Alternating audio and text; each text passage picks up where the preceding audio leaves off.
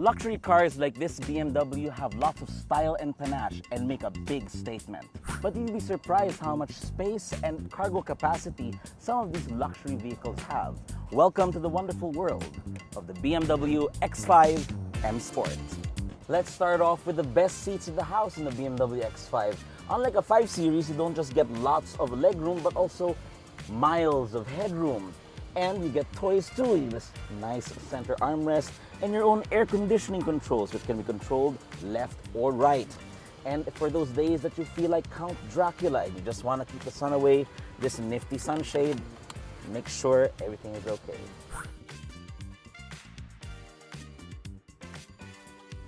And just to show you how much attention to detail you get in a BMW, the bottom of the door card, which is normally hard and scratchy plastic in other cars, is soft and springy to the touch. You may never ever notice this during your ownership experience of this X5, but it goes to show how much BMW values the passenger experience. You will enjoy the M Sport package seats, which include these adjustable bolsters that hold everything, including my fat, properly in place. Of course, the X5 uses these beautiful soft touch materials that are impeccably assembled.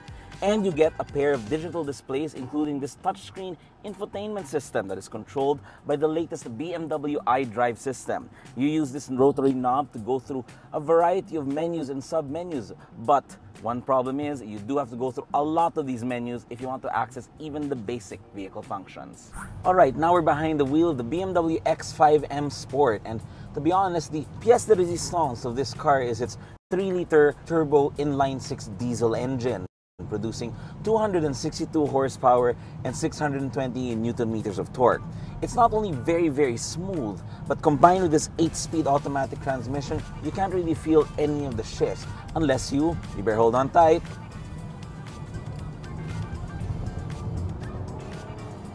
really floor it.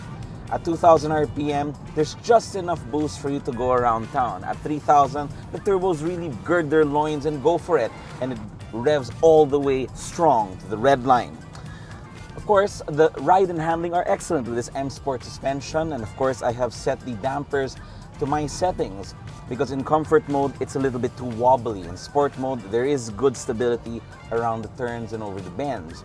But because of the soft springs, you do not want to corner too hard in this thing or else you're going to lean quite a lot. Another thing though, the brakes are strong. These are M Sport brakes, but they feel quite spongy because of the stock brake pads. And that's something I think BMW needs to work on a little bit more. And they also need to work on the equipment because although this is a very plush and lovely car at 6 million pesos, it doesn't even have adaptive cruise control and I think that would be very helpful, especially on long journeys. Nonetheless, this engine does very well in fuel consumption considering the power and the performance. You get 7 to 10 kilometers per liter in the city and 16 to 19 kilometers per liter in the highway. One last thing before I go, let's talk about the X5M Sports cargo space. Open up this electric split folding tailgate and you have enough room for everything from washing machines to ah! Hey. It's Joey, so he fits very well there. Bye, Joey! At 5,990,000 pesos, the BMW X5 M Sport is really out of reach of most Filipino car buyers. But if you are lucky enough to be able to afford one of these things, what you will get is a luxury SUV that has very few compromises. It's a great all-rounder, great fuel consumption, excellent performance, and of course, good looks.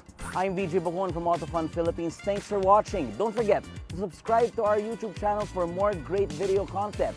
And also, like us on Facebook and follow us on TikTok and Instagram. Bye!